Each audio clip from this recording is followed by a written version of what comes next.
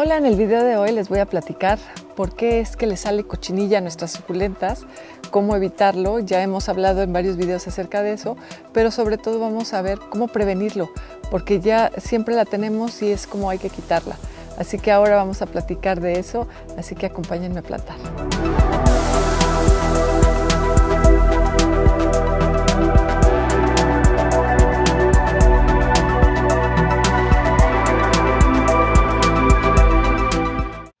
Bienvenidos a mi canal, yo soy Verania y en este canal les hablo acerca de mis suculentas y mi experiencia con ellas. Si te gustan estas lindas suculentas y te gustaría saber cómo cuidarlas, este es el canal para quedarte.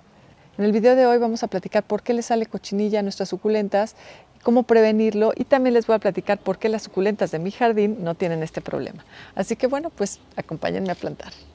Bueno, normalmente cuando regamos debemos de hacerlo en esta parte de aquí para no mojar pues la planta, aunque en realidad mmm, no importa si la mojamos siempre y cuando retiremos esa agua, porque eso es lo que va a hacer que tenga esta cochinilla, por ejemplo. Si nosotros mojamos aquí, pues digo, no le pasa nada, simplemente que si le dejamos toda esta agua aquí, pronto, como acaban de ver, se va por abajo, pero si no la retiramos por completo, quedan algunas gotas. En el centro queda más y empieza a crecer cochinilla ahí. Es importante que la retiremos. Eso en todas, sobre todo en algunas que, por ejemplo, no hay tanto espacio para poder regarlas y se quedan ahí. Ahí es donde debemos de retirarlas. ¿Cómo la vamos a retirar? Bueno, lo que vamos a hacer es que vamos a tomar esta bombita que ya les he explicado es especial para retirarle esta agua. Aquí la vamos a retirar muy bien. Por ejemplo, de este lado, aquí.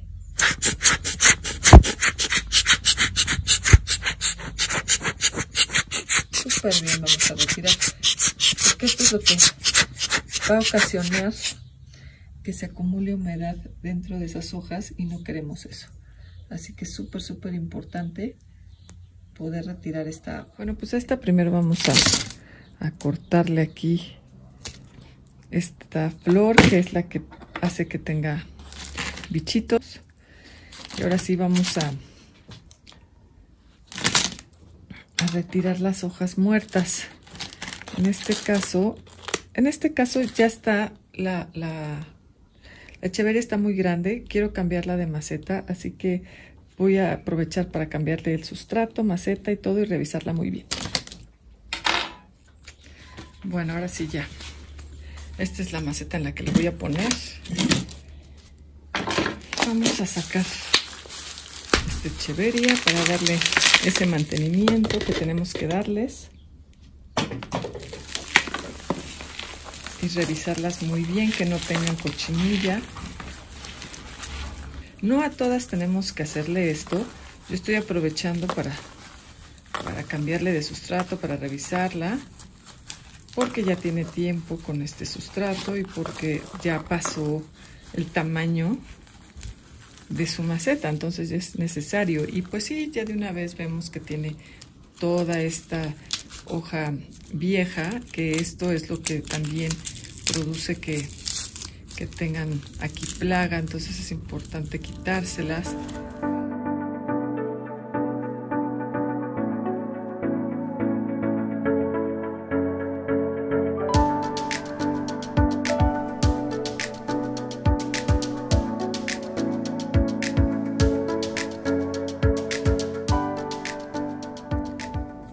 Ya quedó limpia y ahora sí ya la podemos pasar a una nueva maceta con nuevo sustrato.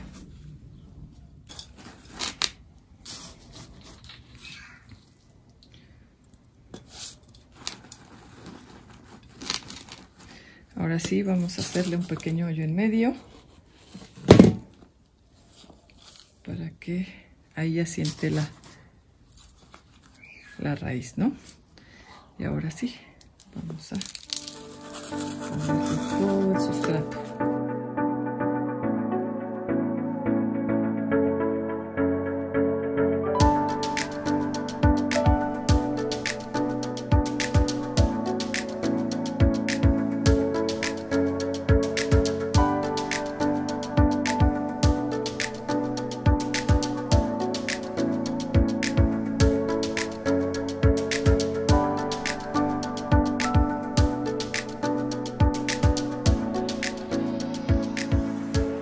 Sería tenerlas en un lugar donde tengan bastante sol.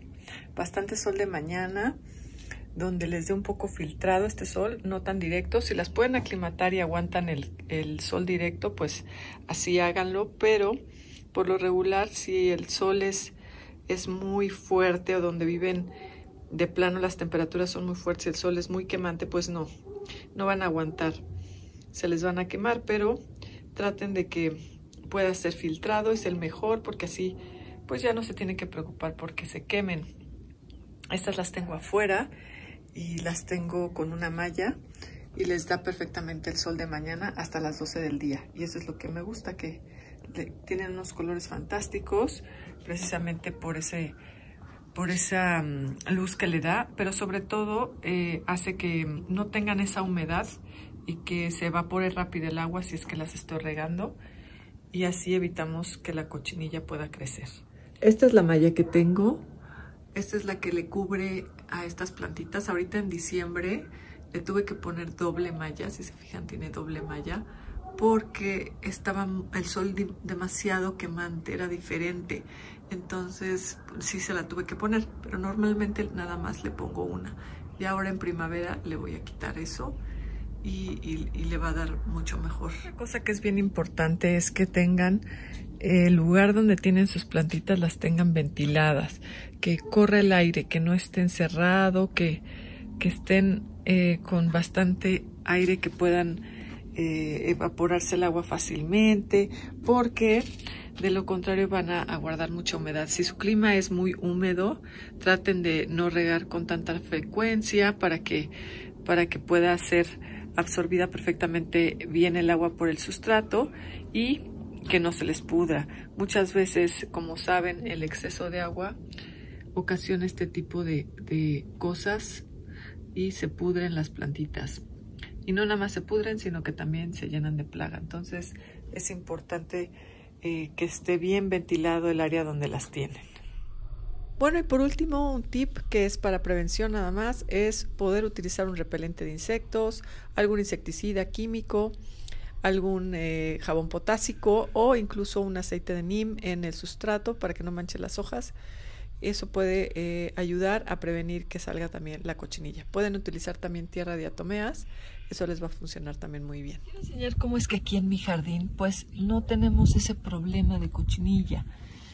Eh, a pesar de que llueve y le cae el agua y pues no puedo retirársela porque es mucha extensión de planta, aquí no tengo ese problema con estas, con estas suculentas. En realidad ellas están súper sanas y se debe a que no tienen pues esa humedad que, que es propensa para estas, estas plagas lo que sí es que el néctar de las flores, como les platicaba, ese es el que sí atrae a algunos bichos, algunas otras plagas, por eso es que se las corto, pero por lo regular hace tanto calor aquí, es tanto el sol que les da, que evapora muy rápido el agua. La evapora y ya no se queda entre sus hojas. Entonces todas estas, pues no, no, no tienen cochinilla, no, no sufren de eso. Y eso es lo que me gusta de tenerlas en el jardín, que aparte se dan muy bonitas y muy sanas. Aquí pues obviamente esta elegancia está bastante cerrada por el sol y pudiera ser que se quedara ahí el agua, pero no, se evapora bastante bien. Aquí vuelvo a presentarles otras. En estas por lo regular cuando llueve se les quedan unas gotitas, pero se evaporan las horas siguientes y, y ya, no, no pasa nada con ellas. La verdad es que esto es lo que les ayuda bastante. Entonces me da un poco de lata, es esta, la gigantea, porque eh, sí está bastante grande y le cae muchísima agua aquí, en esta parte. Entonces es la única. A esta trato de cuidarlo un poco más, pero por lo general todas las demás no tenían ese problema. Pues espero que les haya gustado este video, que les funcione, que les ayude con estos tips para que puedan cultivar unas lindas y sanas suculentas. No se olviden activar sus notificaciones para que no se pierdan ningún video de este canal. Y si les gustó este video, compartan y suscríbanse. Hasta la próxima. Bueno, pues ¿qué les pareció este video? Espero que les haya sido de información, que les, que les ayude para que puedan cultivar sanamente a sus lindas Bueno, pues espero que les haya gustado este video, que les haya... Eh, no. Yo los veo la próxima semana con más de estas lindas... Yo los veo la próxima semana con más de estas lindas suculentas. No se olviden activar sus notificaciones para que no se pierdan ningún video de este canal. Y nosotros... Yo los veo la próxima semana con más de estas lindas suculentas. No se olviden. Ay, Yo los veo la próxima semana con más de estas lindas suculentas. Ay, suculentas.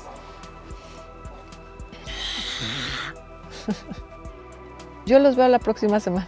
Yo los veo la próxima semana con más de estas lindas suculentas. No se olviden activar sus notificaciones para que no se pierdan.